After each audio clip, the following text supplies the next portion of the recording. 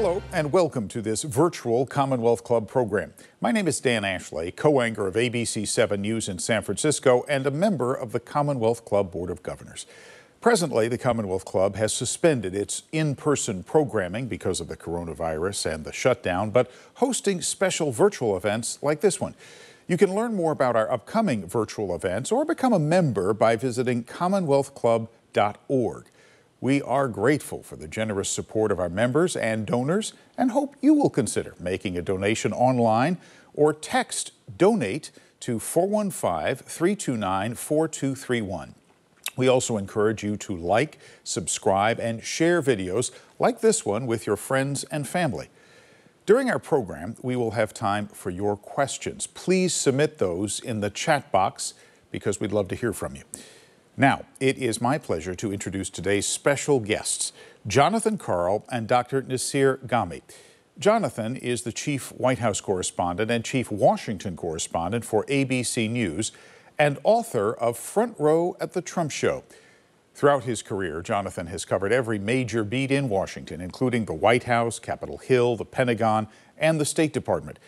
He's been with ABC News for more than 17 years and conducted Donald Trump's first network interview during the 2016 presidential campaign. Jonathan has won numerous journalism awards in his remarkable career, including an Emmy, the Walter Cronkite Award for National Individual Achievement, and the National Press Foundation's Everett McKinley Dirksen Award. He also serves as president of the White House Correspondents Association. Dr. Nassir Ghaemi is a professor of psychiatry at Tufts University School of Medicine and a lecturer at Harvard Medical School. He has published more than 200 scientific articles and is author of A First Rate Madness Uncovering the Links Between Leadership and mental illness. We hope you enjoy tonight's program with Jonathan, Jonathan Karl and Dr. Nassir Ghaemi. Thanks, Dan. Um, John, it's a pleasure to be with you to have this conversation together. Great to be here with you. Thank you for doing it, Nassir. Thank you. And um, I appreciate all the, the people who are joining us online today. Um, one of the reasons you and I are having this conversation is because your book makes a surprising discovery that my book was required reading in the West Wing, and uh, we're going to come back to that in a little while. But uh, yeah. that's uh, that's the link here, and uh, we'll we'll we'll get into that. But I want to start by um, talking to you some about your book in the first part of our conversation. For those who have not read your best-selling book, uh, can you give a little background for our viewers about uh, how long you've known Donald Trump and what led you to write the book? I, I wrote this book, Nassir, because I, I just I had a story. I mean, just an unbelievable story that I had been compiling for years. And as Uh, I covered the 2016 presidential campaign and I covered the transition and Donald Trump becoming president, I was just so consumed with day to day news. I mean, every day seemed to have three or four stories that in the past might have dominated for a month news coverage, and they were all happening one after another, and it was hard to keep up. So I, I knew that ultimately I wanted to come back and tell this story. I first met Donald Trump back in 1994.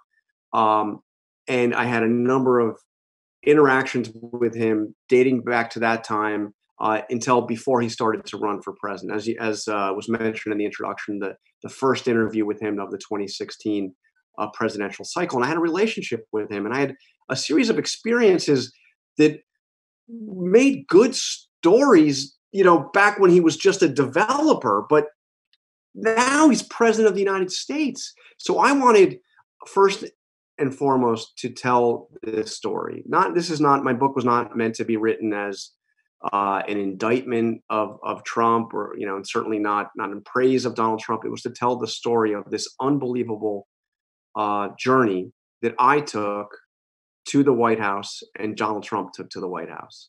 And I, I my goal in the book was to write something that would kind of survive the news cycle because the news cycle so rapid. It, you know, it, it, book books on Trump come out one after another. Stories, big stories, big news, big news developments. But I wanted to write something that if you came from another planet in 20 or 40 or 50 years and he came down and he said what and, and you asked the question, what was that Donald Trump stuff? What was that all about? I would hope that somebody would be able to hand you my book and say, this gives you a little bit of a sense of how it happened and what it was like. Mm-hmm. Yeah. Well, you definitely do that. You definitely do that. And um, I think you have a unique perspective because you knew uh, Donald Trump 20 years before he became president and, and afterwards.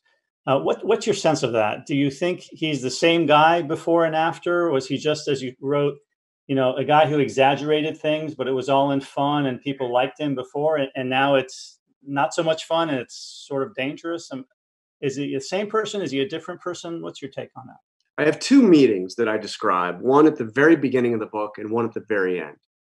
The one at the very beginning is the first time I met Donald Trump, which was back in 1994. And I was a young reporter for the New York Post.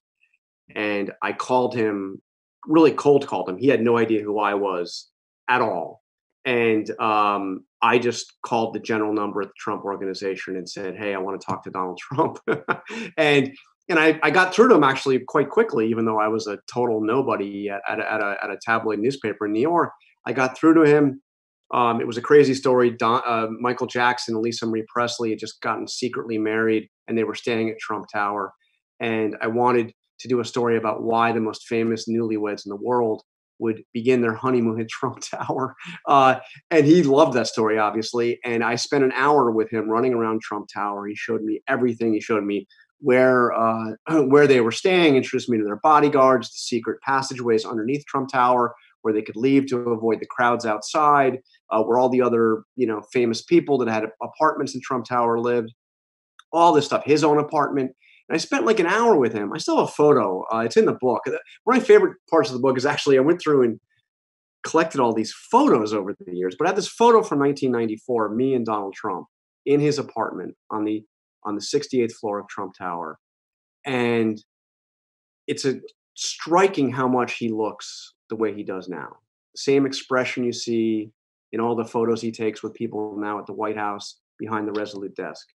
The same long tie, a little too long, dark suit. He's, you know, he weighs more now. The suits are a little bigger now, but but same.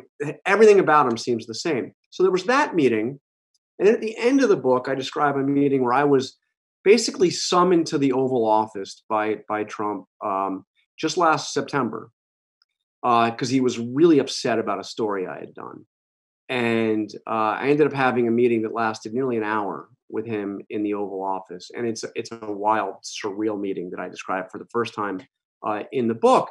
But as I'm talking with him, and he's sitting on the you know at the Resolute desk, he's the president of the United States by the way, there's all kinds of things happening in the world. North Korea has started testing missiles again at the time of this meeting. Uh, it's it's it's just after the shootings in El Paso uh, and Dayton.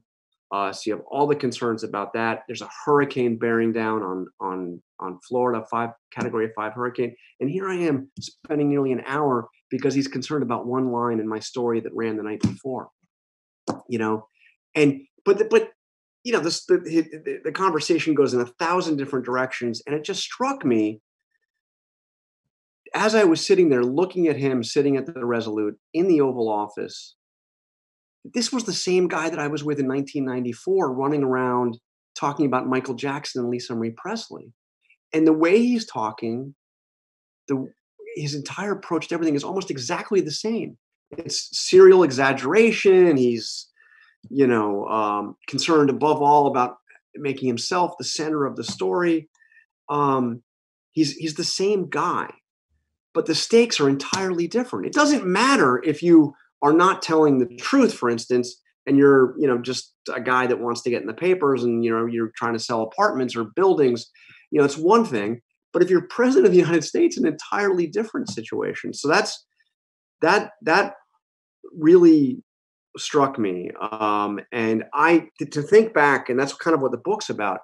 To be there in 1994, I'm like a young tabloid reporter, one of the most junior reporters at the New York Post, which is the fourth largest circulation paper in New York City. So you know, I mean, and to think that I would ultimately end up at the White House was pretty inconceivable. And that I would end up at the White House at the same time that he would end up at the White House as president but same guy, ultimately the same guy. Yeah, that's that's a really interesting observation. I mean, firstly, there's this parallel rise of, of both of you, uh, which is an interesting thing in the book. Mm-hmm. But uh, the fact that he's the same guy is interesting. You know, um, Lord David Owen, who was a British foreign minister in the late 70s and is a neurologist, wrote a book called The Hubris Syndrome uh, after he observed that Tony Blair completely changed, he felt, in his personality before and after power. Before he was very rational and listened to lots of opinions and so on. And afterwards, he just didn't do that anymore and just went his own way in the Iraq War, for instance. And same thing with uh, George W. Bush. So uh, Lord Owen's perspective was that power corrupts in this way some people, uh, their personality changes. But sounds like maybe in this case, president's case, he already had the hubris to begin with, and maybe there wasn't much room for, for change. He, he, he certainly had the hubris. I, I, think there is one thing that did evolve as he as he was president. When he first came to Washington, he was somebody. Donald Trump was somebody who had barely ever visited Washington, let alone have any experience in Washington. Mm-hmm. So he created this, you know, he hired this staff around him. And you remember Reince Priebus was made chief of staff, but the, the day they announced Reince Priebus, he was third person mentioned in the um, in the press release because he was also announcing that Steve Bannon was his uh, chief strategist, and uh, you know Jared Kushner was going to have an elevated role in the in the West Wing as well. But he had these people around him, and he, I think, he, even though he had the bravado, which he has always had, um, he, he felt he didn't know Washington. He needed to lean on somebody like Reince Priebus who, by the way, actually didn't have much Washington experience either. He'd been the chairman of the RNC, but before that, he was a guy in Wisconsin, you know, local party guy. Mm-hmm. Um, but he, he asked, he sought advice. He didn't always take the advice, but he felt that he needed to. And now I think, and I describe this evolution in the book. I mean, he's at a point where he thinks that he doesn't need any advice. Mm-hmm. Uh, and every time he looks at somebody who's going to give him advice. He said, "Well, you were the same people, especially experienced people, especially experienced Republicans. You were the people that said I was going to lose. You were the people that said I couldn't pull any of this off. The hell with all, you know." He just. The, the, there, I got a chapter in the book called "No Guardrails." There were some guardrails in the beginning. Those guardrails were completely gone uh, within a year and a half of the Trump presidency, and now uh, the, the remnants aren't even visible. So I wonder, in, in a way, maybe he's he is adhering to the pattern that Owen Owen yeah. described in some ways.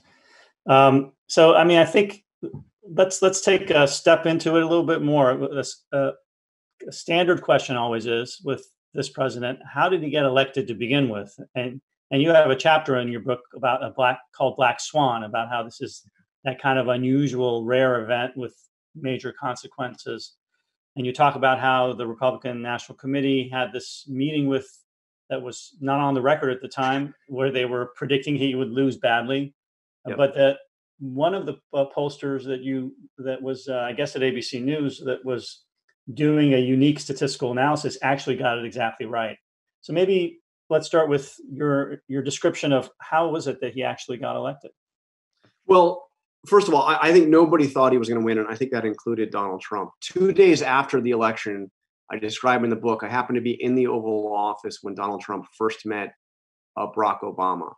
And this is the one great exception. This was the one time I saw Donald Trump where he actually did appear, and people are surprised when I use this word, but he he he appeared humble. He appeared like he was a little blown away by his surroundings and about the responsibility he was about to inherit. We were brought in with the press after he had met with Obama for a full hour. And it was Obama's meeting. Obama was in charge. You know, three days ago, I think Donald Trump never thought that this meeting was ever going to happen, anything like it. And here he was realizing he was about to get the keys to American democracy. And I took photos with my um, with my own phone. There's some photos that other you know, obviously a lot of photographers in there, but I go back and I look through these these pictures and his posture is different. The look on his face is different. He's it's the one meeting where he's that I've, i think that, he, that I've ever seen him in where he wasn't in charge because it was Obama's meeting. Obama's still president, uh, but that quickly changed. But in terms of how, you know, how he won, we we we did. Look, I, think that it was the great. It's it was the greatest upset in American political history and I called it a black swan event which means incredibly rare event. Um, uh, it, it was a combination of um, Hillary Clinton's weakness as a candidate, uh, the combination of, of, combined with the fact that nobody really thought he was going to win. So a lot of people who would vote against him but didn't like Hillary very much decided just to stay home. I mean, why bother? She's going to win anyway. Um, he won the you know by by by narrow margins in states that uh, you know nobody thought he really had a chance. Wisconsin, Michigan, Pennsylvania. Um, he um, there were there were a series of events at the very end of the campaign, including you know the, the, the famous case of James Comey reopening the email investigation because of what was found on Anthony Weiner's uh, computer. Uh, but the, the one person you mentioned, and I'm glad you bring it up because it hasn't gotten enough attention. There, we we had um, somebody in our polling unit who was experimenting with an entirely different way of analyzing the polling data. And, and the first thing I'll say is that virtually every news organization in America was doing it wrong, including ABC, all of us. We were measuring the wrong thing. Uh, major networks, major newspapers had what they called tracking polls, which meant we would we would every day we would you know do another poll and, and we would average three or four days together drop off the last day add the new one and then you could see how the race was evolving and but these were national numbers like how many you know where the standing was across all of america uh, registered likely voters. That's a meaningless stat. I mean donald trump lost the popular vote and he's in the white house.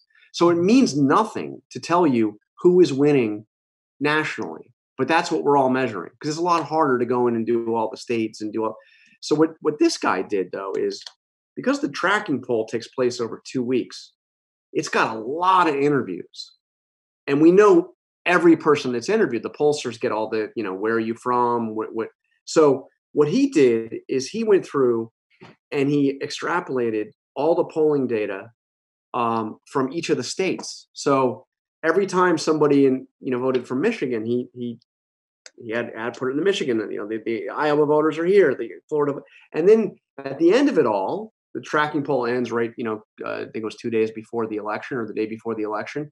He puts it all together and say where do all the states uh, stand, and he had every state right except for one and it added up to a victory for Donald Trump. Now, it was experimental, it was not proven. We did not publish his data. Uh, mm-hmm but I have it. I saw it. I was at the briefing, and trust me, they'll be looking a lot more at his analysis. Sounds like which one we need to look at next time around. Yeah, yeah. Um, well, before we get to the reelection, I want to just uh, discuss one main, seemed to me like a main theme of your book, which is this question of truth. And you called it the assault on on truth and this fake news type of this talking discussion. Maybe you can share with us your general thoughts about that as a kind of a general idea that that you have? Well, I, I found this old interview that Trump did when he was 37 years old uh, with a sports writer for the New York Times named Ira Berkow, and he said, um, "Creating illusions is to a certain degree what we must do." That was Donald Trump as a 30-something year old person, and that's continues to be what he does. I mean, he, you know, I talk about Trump Tower itself as kind of a case study because I told you I was in his apartment on the 68th floor Trump Tower only has 58 stories. it's an illusion. Yeah. The fifth floor ends, and the floor above the fifth floor is the 14th floor. Voila! You suddenly have 10 more stories. You know, t- your your your 10th your top story looks like it's it's, it's still the same building. Um, yeah.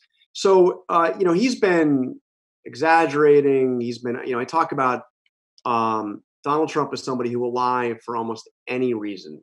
Uh, another story. Rick Reilly, a, uh, legendary sports columnist, uh, was with Sports Illustrated at the time, and he went to do a, a profile on Trump at one of his golf tournaments. And Trump kept on introducing him as the president of Sports Illustrated. And Reilly would like say, "Wait, I'm not the. What, why do you say that? No, I'm not the president. I'm, I'm, I'm a columnist." And then finally, Reilly pulled him aside and said, "Why do you keep lying about me?" And Trump said, "It sounds better." Sounds better. He'll lie if it sounds better. He'll lie to make you feel better. He'll lie to make himself feel better. He'll lie to, you know, make everybody in the room feel like they're part of something bigger and, and larger than it is. He'll lie to make a deal. He'll lie to win a race. He'll doesn't matter. Um, but what I worry about is he's done that on one side. And then the other thing he's done with these relentless attacks on the press, uh, calling real news fake news. Um, he once said in a, in a, speech to the veterans of foreign wars, he, he told supporters, he said, don't believe what you are seeing in the newspapers. Don't believe what you are watching.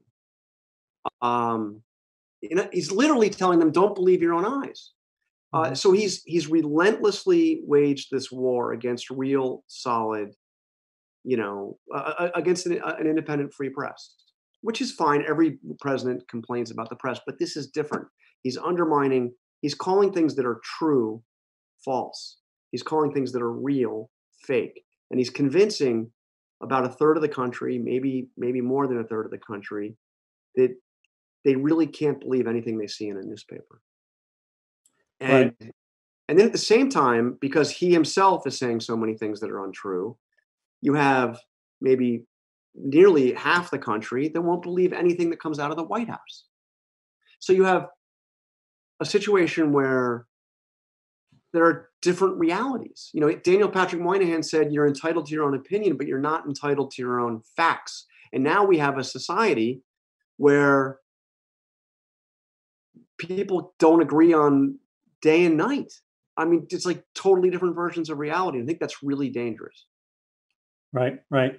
You know, it's interesting to think about how much of that is uh, is he a symptom of a larger cultural problem as opposed to being the problem. As you know, there's been debates in universities, for instance, a lot over the last few decades about facts versus social constructions uh, of reality, that kind of thing, and a, a, bit of relativism that's gotten in there. Yes. Um, Postmodernism. It's like a didn't yeah. want to say the word postmodernism. Yeah, exactly. And this is stuff. This is stuff that I was dealing with in my in my college uh, literature classes. You know, not uh, not not at the White House. Now it's now it's not in college literature anymore. Yeah. Daily life. Uh, so, but uh, you, you made the point in the book, and this really struck me in, in the beginning. Uh, you made the point that yeah, Trump has a lot of support among people who will look at these little lies, say on on Twitter, these little tweets and say, yeah, but put that in the context of all these prior presidents who didn't do all that, but failed in various ways. So it's not as bad as, say, uh, George W. Bush telling the country that there were weapons of mass destruction in Iraq and taking us to war when there wasn't. And yeah. so they they give the current president a pass for these little lies. And when I read that, I, I um, struck me because I know the book was mostly written and, and came out before the pandemic and before the current um, massive social racial change that's going on.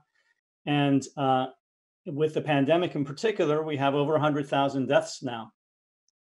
So can we really say the same thing as we might have been able to some supporters might have been able to say before? I wanted to raise that question to you. Yeah no it's a, it's a, it's a really good question because until the pandemic donald trump had actually benefited from something that not many presidents get this luxury three years of no major crises. I mean, there were a lot of crises in the White House, but they were self created either by the president himself or by his by his staff. And he had the investigations, he had a lot of, you know, all of that, all the all the stuff, the the, the stuff surrounding, for instance, the the child separation policy at the border or the or the travel ban. And these were these were crises, but they were created from within with the pandemic for the first time you have a major crisis perhaps the one of the greatest of our lifetimes if not maybe the greatest um, fall in his lap and then followed on with all we have seen since the killing of george floyd.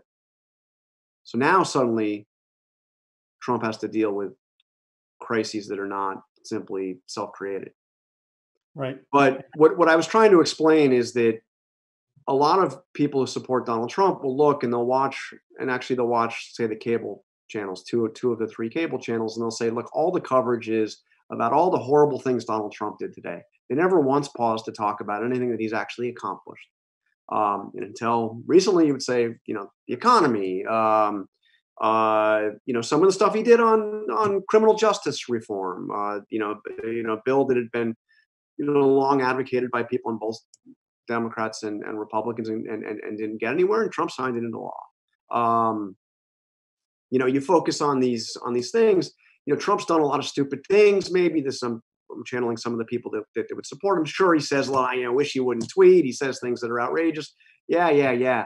But you know, did he ever like get us into a war over false intelligence? Has he done anything that as as really as damaging as what Donald Trump, as as what uh, George Bush did, or some of the colossal mistakes that some of his predecessors did? Vietnam. Um, but now the so I wrote that in the book. But now the question is, well, has he with this? Now I don't, you know, I don't know. I mean, he didn't. hundred thousand people didn't die because of Donald Trump, but you could certainly raise really serious questions about the way he, you know, the way he handled it, the way the way he's handled this crisis. Obviously, uh, there was that recent. Uh, book there was that recent analysis from the, the one of the UK um, medical groups, which said that if they had uh, started the quarantine about a week earlier, they would have saved half the lives who died. If you apply that to the U.S., you could argue, you know, this is a person who was in denial from January to March. Yeah, that's half fifty thousand lives or more potentially. Yeah. Um, but this brings me to, I think, the uh, maybe a segue to to, to talk about about the question of whether he's a good crisis leader, which is what my book was about, about what makes for a good crisis leadership.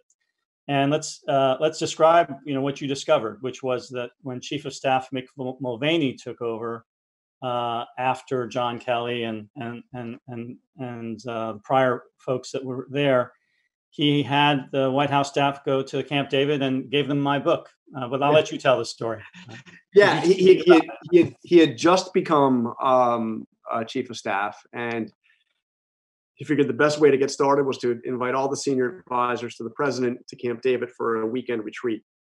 And he and he held your book up, I'm told, uh, and read some passages. He read some of what you wrote um, about um, about FDR. Um, uh, I think there's a scene in, in, in, your book that he reads from describing FDR talking to uh, to, to, to, to, some of his top advisors after Pearl Harbor, and he's kind of he's wandering in his discussion all over the place, and he's like it doesn't seem focused, and um, and uh, and he and he uh, describes the way the way he kind of summed up your your book is um, some of the, the the best leaders in times of crisis. Some of the best leaders have been uh, people who had mental illness. Uh, McClellan was a perfectly sane individual and a horrible general. Um, but Sherman, who was mentally ill, mm-hmm. was a very successful Civil War general. Uh, Winston Churchill was, you know, all over the place. Uh, Neville Chamberlain, perfectly sane guy. Who was the better leader uh, uh for um, for the UK uh, dealing with uh, with the irrationality of, of, of Nazi Germany? So he's he's making this case, and, and what what blew me away about this finding was, first of all, you wrote your book in 2011, so you wrote your book before Donald Trump, uh, you know, before Barack Obama was reelected. I mean, you wrote it way before uh, Trump's running for president. You don't mention Donald Trump, um, but the point that Mulvaney is making clearly is you may think that Trump is crazy, that the guy we're working for is insane, is, is mentally ill forgive me for using mentally ill. Um, but maybe he is, and maybe that's a good thing. And what you think is is is crazy is actually genius. And the corollary to that is this is the new chief of staff, acting chief of staff is don't try to channel the president, follow him don't try to like because the because the previous chief of staff John Kelly was always trying to keep Trump within those guardrails I was talking about. Now Mulvaney was saying, "Sounds nuts to you, but let me tell you, it's genius." So so let me ask you. Um, well, can I before we get to Donald Trump, can I just ask a very basic question? First of all, is is that summary of, of, of your argument kind of close to close to accurate? Yeah, well, definitely, it's accurate. I, I, can I can flesh it out a little bit more for sure. the viewers who who haven't read my book. Um, the the basic idea I had was that there are some benefits to some psychiatric conditions. I, I, see it in my own patients. I treat a lot of people with depression and manic depressive illness, bipolar illness, who are businessmen, entrepreneurs, politicians, uh, successful people. Uh, and so I know that it, it's helpful to them. I see it in their lives. And when I got into researching it, I realized that there's this research in psychology and psychiatry that shows some benefits. For instance, people who have depression are more realistic than people who are not depressed. It's part of normal mental health to overestimate yourself, to view things somewhat optimistically. Psychologists call this mild positive illusion. And that's a good thing in, in normal life. But uh, if you're a crisis leader and the slightest lack of realism could lead to a war or to a pandemic or whatever, that could actually be a problem. Even having normal mental health could be a problem. Um, people who are depressed are more empathic towards others than normal mentally healthy persons. People who are manic, and now we all know what depression is, mania is the opposite. It's the state of being sped up and fast in your thinking, movement, and feeling. People like that don't sleep a lot, they talk fast, they're distractible, they have high sexual drives, they have high physical energy, they make rapid decisions, sometimes impulsive, they have high self esteem. God, that sounds familiar. Sound familiar? Yeah and uh, it's very obvious, in fact, and, and, and, and, it's very common in entrepreneurs. And um, be, because they are creative, mania is associated with creativity. It's also found a lot in writers, artists, poets, and so on. Um, and there's also research that shows that people who are manic are more resilient to trauma or stress than normal people. They bounce back more easily. So if you're a manic depressive leader, you're de- realistic, empathic, creative, and resilient and that makes you Winston Churchill or maybe uh, Franklin Roosevelt uh, or maybe General Sherman. Uh, it also could make you Adolf Hitler, who also had bipolar illness. It's it's not a sign of good leadership in the sense that the beliefs of the leader necessarily would be something you someone might agree with. We all have different political views, but for the purposes of that leader, these traits can attract followers and make them effective that was the idea, but the idea was also had a corollary, which was that that was the case in crises. Because when you're in a crisis, you need realism and creativity and, and resilience. But in the average, normal daily life, you don't need all that.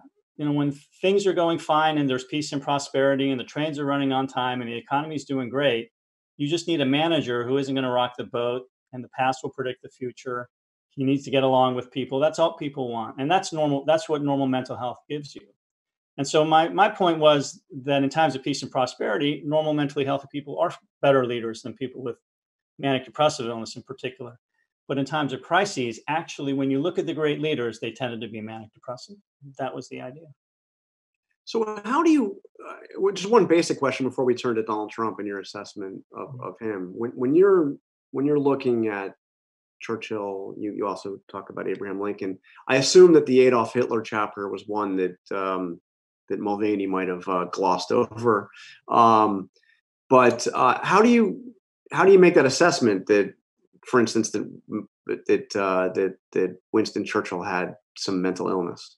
Yeah, and that, that's kind of a, a, a central issue with this kind of what's called psychohistory. Um, yeah, using psychological psychiatric ideas for history.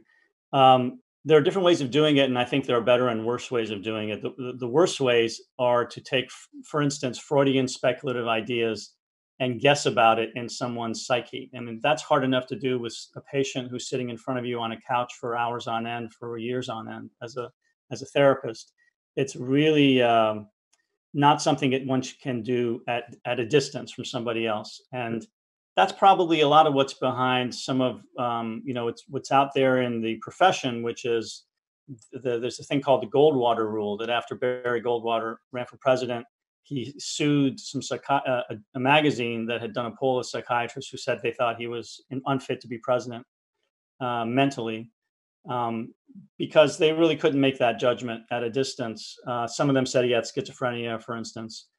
With the current presidents, a lot of people will say he's narcissistic, he's psychopathic. They come up with these labels, which really are about interpreting the internal psychological experience of someone, and that is hard to do. And I'm I'm not supportive of that.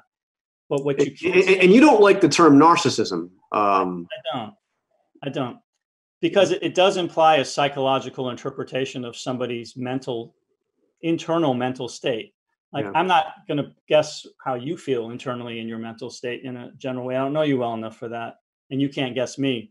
Um, that kind of thing is really something that is clinical. It has to happen in a private psychiatrist or, or clinician's office. But what is not limited to the doctor's office is if somebody is severely depressed, they stop eating and sleeping, they don't get out of bed, they don't laugh, um, they get suicidal, and they might kill themselves. That doesn't take much interpretation. That's those are really objective physical signs. And when someone's manic, as we talked about, they're the opposite. They're hyperactive, don't sleep, and so on. If he's sleeping four hours a night, that's a manic symptom. You don't need to interpret anything. That's more objective. And that's why I think not all psychiatric illnesses, but some, like manic depression, can be diagnosed. And in this, I disagree with the American Psychiatric Association's principle on this. And I've had, I'm part of the association. We've had symposia professionally about it. We debate it, but I, I think it's um, it's not a limiting factor if your if your diagnosis is based on more or less objective criteria that can be proven. So, so Bi- Bill Clinton famously slept like no more than four hours a night. Uh, had some of those uh, those other other uh, characteristics you described. Uh, Yeah. did- how does he fit into this? Yeah, I, I, so the there's a couple ways you can have this these symptoms. Uh, I call it the Goldilocks principle, where if you have a small amount, they're helpful to you. If you have too much of these symptoms, they're harmful. And if you have and you're mentally complete, it's also harmful in terms Yeah. of crisis leadership. So, um, you know, mostly people think about these symptoms in terms of patients who may have very severe symptoms, and I've treated a lot of patients for 25 years uh, may have severe depression, severe bipolar illness, they often are not very functional. But people that have mild depression and mild manic symptoms can be quite functional. And in, in fact, some people have them all the time as part of their personality. So we know about some people are a little down all the time. We call that dysthymia. Some people are a little up or a little manic all the time, high energy, high sexual drive, charisma, creativity. We call that hyperthymia, which is uh, the kinds of what's what I see is is is consistent with what you see in the case of President Clinton and also the current president. And it's really common, like I said, among leaders and entrepreneurs, for instance. When I wrote uh, First Rate Madness in 2011, I wanted to write about an entrepreneur in addition to the political and military leaders. And if I had picked Donald Trump, I would have been a genius, I suppose. It would have been perfect. It would have been perfect. I just needed to. okay, so You know so so think, assess assess Donald Trump. Uh, John, is- John, I picked Ted Turner. Ted Turner, right? And Yeah. Ted Turner is, in my view, more or less the Democratic Donald Trump. I mean, personality wise, they're very similar, but good. So so let me just ask point blank: assess Donald Trump. Did, did, Yeah. Does he have does he have mental illness? I say I don't wouldn't use the phrase mental illness because um, you know there are mental illnesses that are very severe, like schizophrenia. We're not talking about that. Yep. And uh, personality traits really are not illnesses; they're variations on the norm.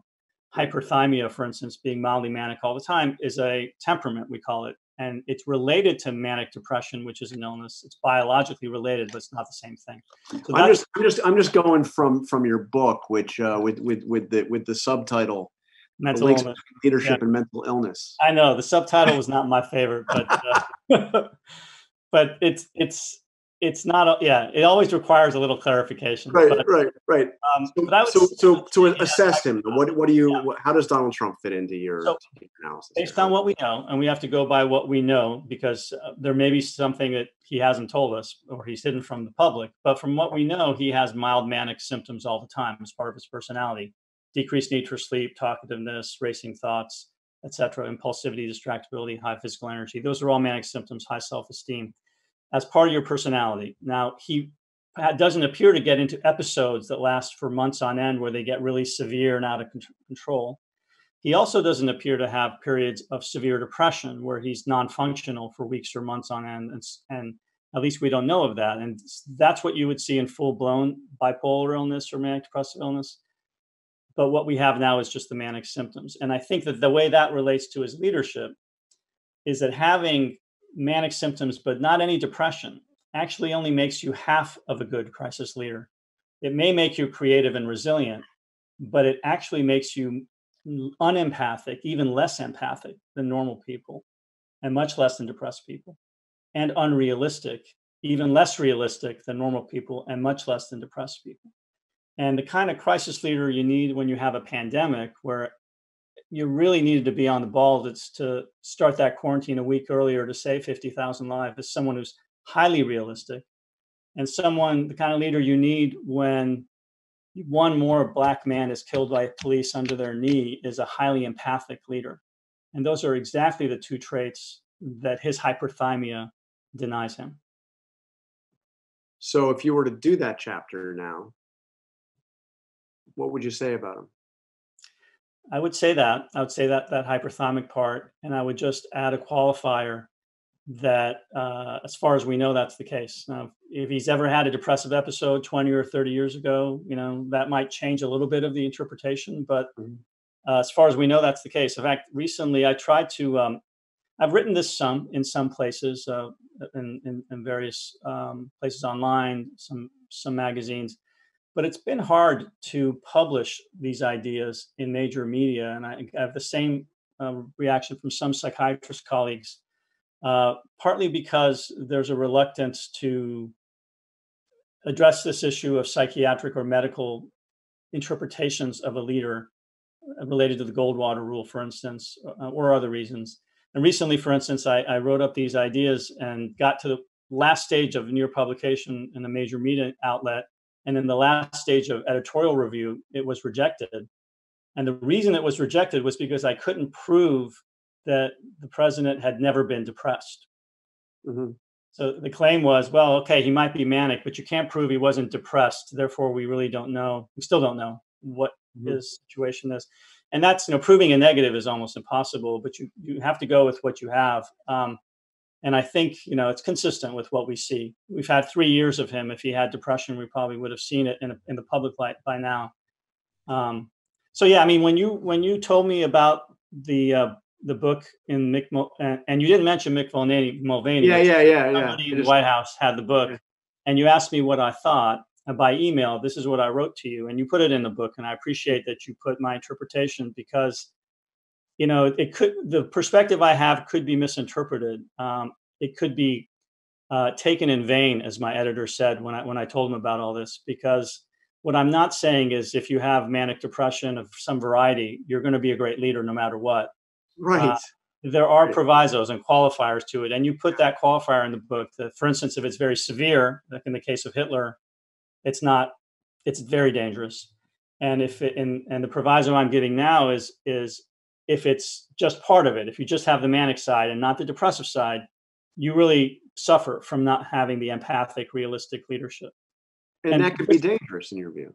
And dangerous, yeah. And the other thing that has come up is is people used to say, well, he's a good crisis, he's going to be a good president because, you know, we have crises. But as you said, turns out those weren't crises. This is what a crisis feels like right. today. You and me on Zoom instead of being in the same room in San Francisco with 100,000 people dead and with riots happening on the streets every night for the last few weeks. This is what a crisis feels like.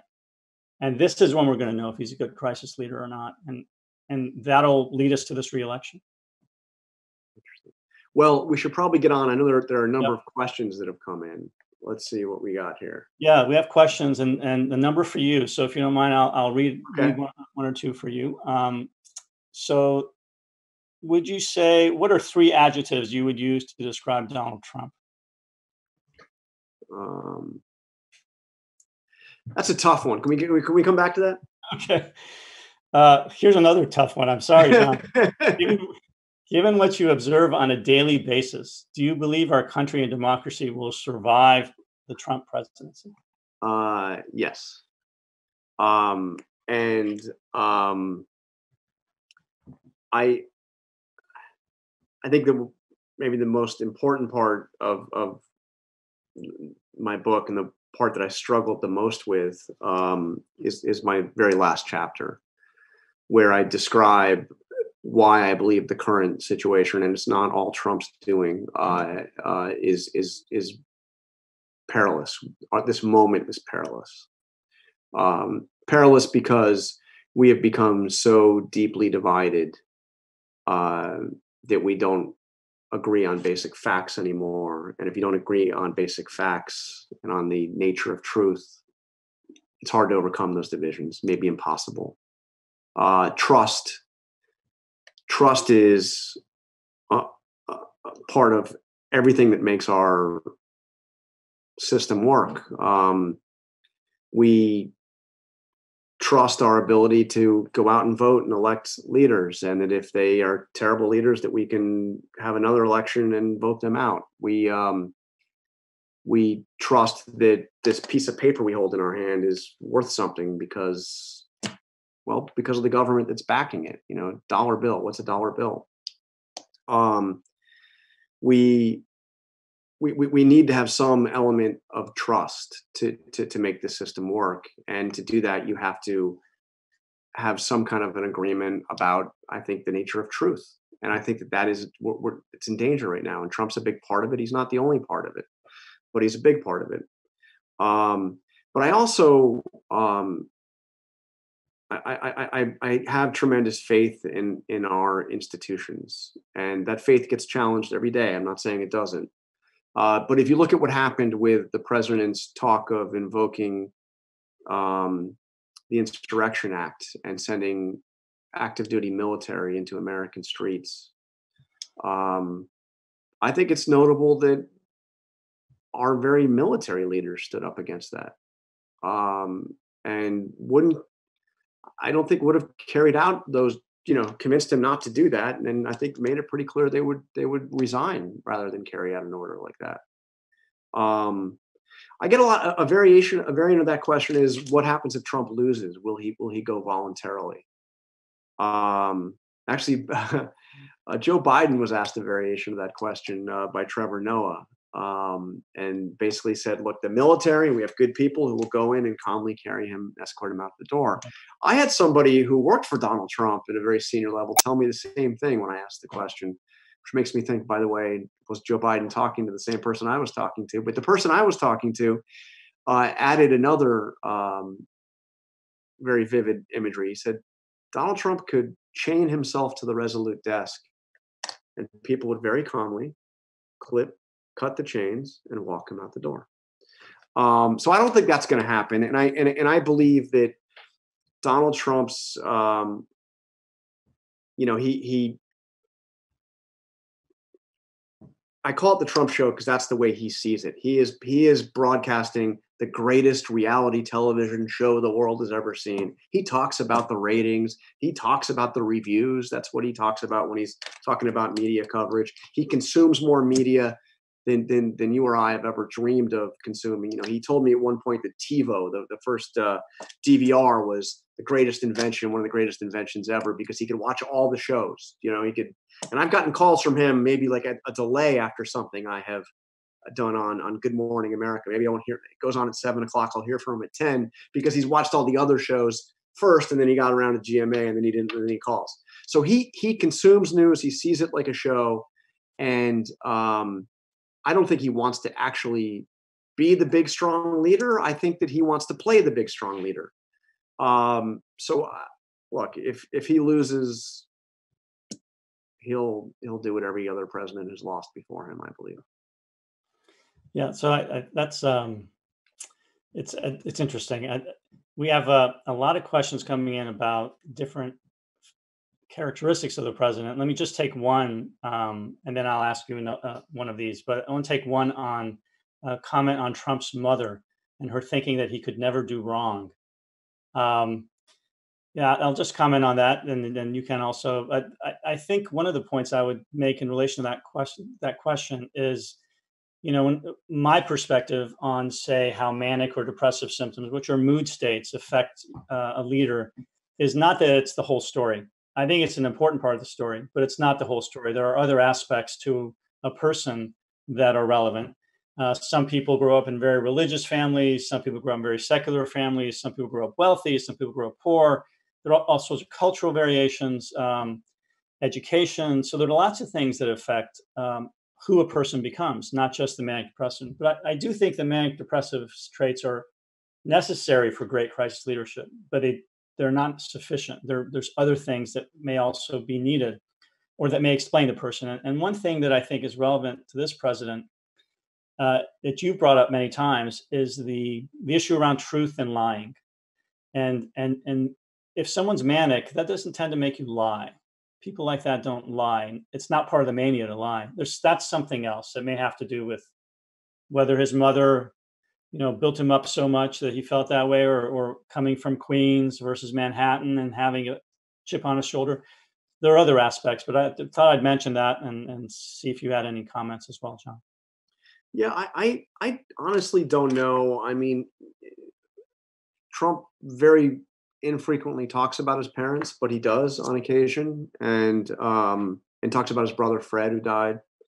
Um, uh, as the main reason why he doesn't drink, um, because because Fred was an alcoholic. Um, but I maybe it's because it's not my area. I've never really I've never really tried to dive into what we could learn about his upbringing and how that tells us about where he is now. Although it's very interesting. I sent you that I sent you an email about this today. I think right there's a uh, there's a book coming out mm-hmm. um, by Donald Trump's niece, by his brother brother Fred's daughter, I, I believe, uh, coming out later this summer. Um, and uh, it sounds looks like it's going to be quite an interesting book. It's going to talk about their upbringing in Queens because she was she witnessed a lot of it. Right. Um, so maybe we'll learn a little bit more. But I, I, think that's one. I think that Donald Trump, in some ways, is the most transparent president we've ever had. I mean, we know kind of his day to day, minute by minute thoughts uh, through Twitter, uh, among other things. Um, but he doesn't he doesn't reveal much about about his upbringing. He really doesn't. And, yeah, that's a big black box. Yeah, but it'd be interesting to see if if his niece fills in some of those holes or what what yeah. that relationship's like. I mean, we don't know. I mean, but, I'm kind of fascinated about Donald Trump's sister, the judge. You know, um, mm-hmm. you just don't you just don't don't. I mean, I don't know.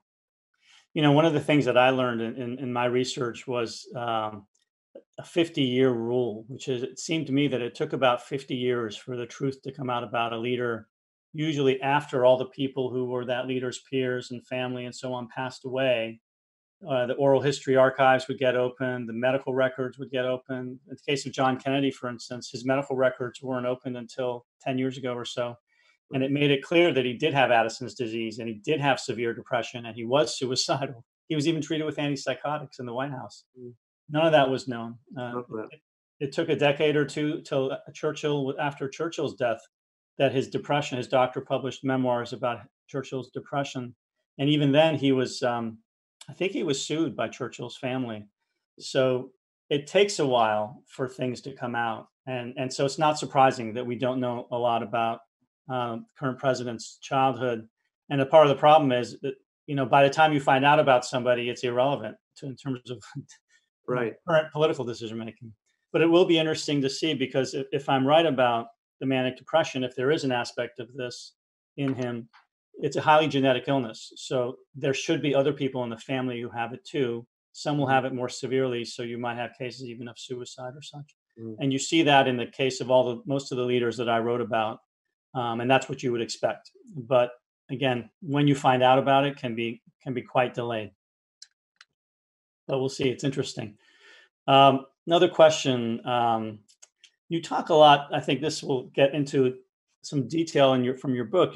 Um, can you talk about Trump's inner circle? You talk a lot about different people in the White House who tried to work with him. Uh, what would you want to summarize about Trump's inner circle? Well, all, there's there's a I think the, the, the big thing about his inner circle is that they spend much of their time trying to keep up with him.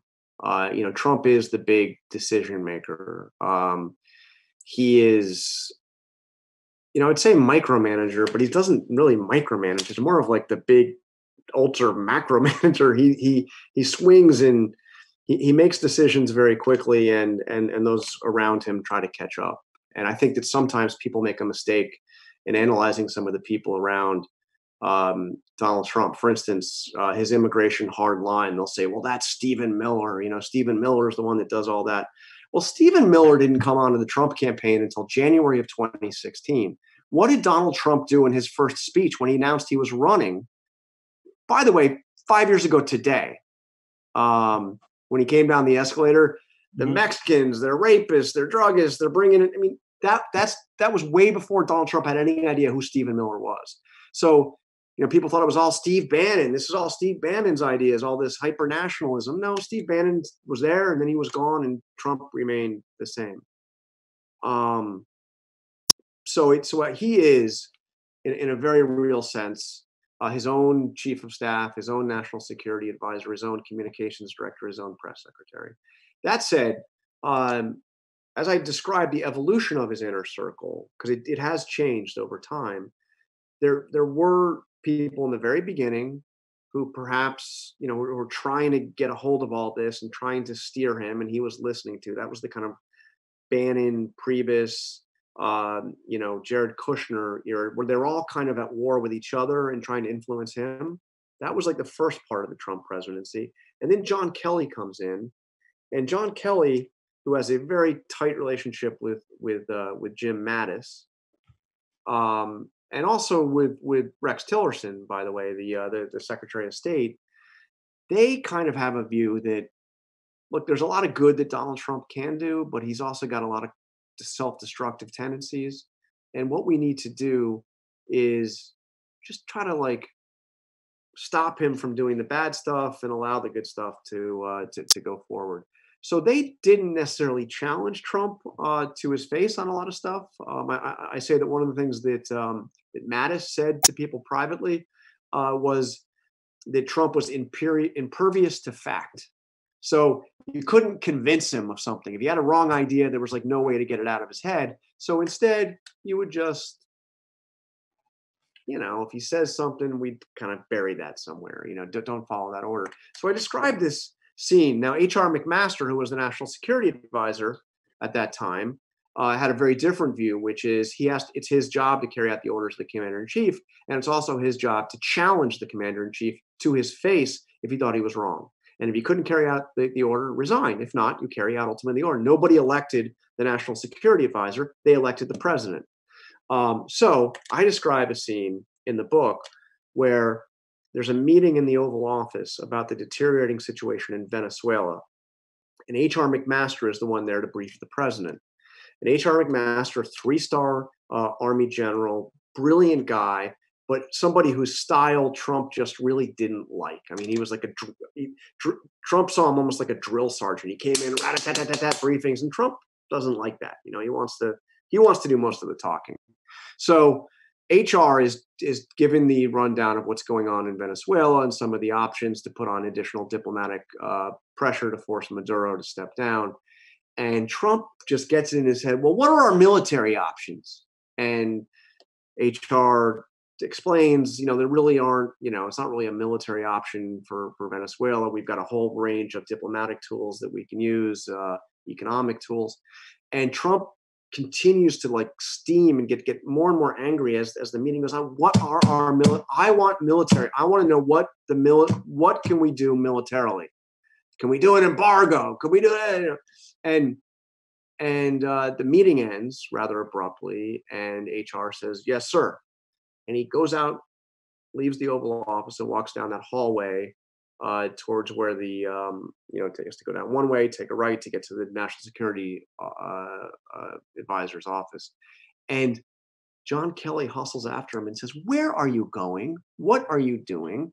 And he said, "Well, I'm going to carry out an order of the commander in chief. I'm going to tell the Pentagon to work up some plans, some options." And Kelly said, "Don't do that. Are you crazy? That's going to create a whole it'll get out in the Pentagon and people think we're actually going to, we're, we're not going to war with Venezuela. It's insane. Just forget you heard that. Don't do it. And it's wild. I mean, I, I actually talked to H.R. McMaster about that incident and he told me, um, well, I can't really recall that very specific thing, but things like that happened all the time. Can you imagine? Happened all the time. Mm-hmm. And you know, John Kelly, I didn't need John Kelly to tell me how to do my job. And it's extraordinary, actually, bit of of um, of a response from from McMaster. But that kind of stuff did happen. He, you know, you had these these advisors around him who thought that they and, and I can't tell you how many times Nassir that I had people tell me over the course of the the first really two years of the Trump presidency, you think it's crazy what's going on now. you should see the stuff that we stop. Mm-hmm. And that was what people like John Kelly thought was their role was to was to stop Trump's destructive impulses. It's the whole point of the anonymous op-ed and then book. Mhm. You know, the resistance within the Trump administration. You know, we're here, we work for the president, but we're stopping him from doing things that are really bad. Well, I don't think there's any resistance anymore. Um, and while it was there, I'm not sure it was really that effective. But um, but it's So not John- there. John, have you had time to think about the three adjectives that you would use to describe me? And I'm gonna I'm gonna add a little twist to it. Someone asked, "Do you have anything positive to say Sure. about Donald Trump?" Um, so, um, uh, look, I'll, I'll, do one. to- He, he is charismatic. You, you cannot say he's not charismatic. I mean, he has got the, you know, the world looks at what he's, what is going on. And they may look because they think he's ridiculous or because they think he's brilliant, but people are watching and they're paying attention. He's impulsive. He makes decisions based on the gut. He told me, um, actually, he told Barbara Walters back in 1987. I mean, he, this, is something he's been thinking about for a long time. Barbara Walters said, "What is your plan for life? What are your big goals?" And he's like, "I like, I really don't have a plan. I, it's like the prize fighters." He said, "You go into when the prize fighter goes into the ring, they say go with the punches." And Trump's been going with the punches all along. He doesn't have, you know, a 10 part plan of what he's he he, he goes uh, with his gut. Um, and um, uh, the uh, the third is he got a single adjective. It's so something to do with the fact that he just loves the spotlight. I mean, he wants to be the center at center stage at all times. Mhm. Okay. So, um, what about the big picture question? Are you a, um, willing to hazard a, not a prediction, but a, a guess uh, about the reelection? And, Sure. uh, and a question related to that is what you think he will do post presidency. Okay, so I, I think that first of all we should be we should have great humility when trying to figure out what's going to happen in the 2020 presidential election because everybody got 2016 wrong. So that's my caveat. But I will say, as I mentioned to you earlier, I think that Donald Trump's victory in 2016 was the greatest political upset in the history of American politics. I think that his reelection would be the second biggest upset in the history of American politics. I think he has a lot going against him. I'm not saying he cannot win, um, but he has done virtually nothing to expand the group of people that would support him. He has, uh, you know, governed almost entirely focusing in his rhetoric and his actions on those people that already were fervently supportive of himself. So yes, he still has most of those people in his corner. Um, but the population's changed, the demographics have changed. And just from a demographic perspective, the groups of people that more likely are to support Donald Trump have gotten are, are growing smaller. And the groups of people that are more likely to despise Donald Trump have gotten bigger. Um, so I think that he and look all the polling, and I wouldn't want to get you know too dependent on polling, but all the polling would suggest the same thing, which is he faces an incredibly uh, you know tough tough reelection fight. Now, people, the answer to that is, oh well, you know the polls four years ago showed the same thing. Yeah, and he won the greatest upset in American history. I don't know if you do that twice. I mean, it's going to be a tough race. He's got some advantages he didn't have. He's got all the money in the world, uh, which he did not have last time. He has the total and thorough support of the Republican Party, which he really didn't have last time. Um, and if he doesn't have an Access Hollywood situation in the last uh, week of the campaign, you know, he'll have that going for him too. But it's going to be a tough reelection. Well, this time around, I hope we get that statistical analysis by that Yeah. fellow who did it right. I hope you, you make sure we all hear about that, John.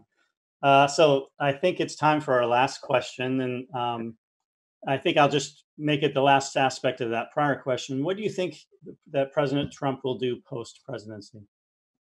What's his future after the White House?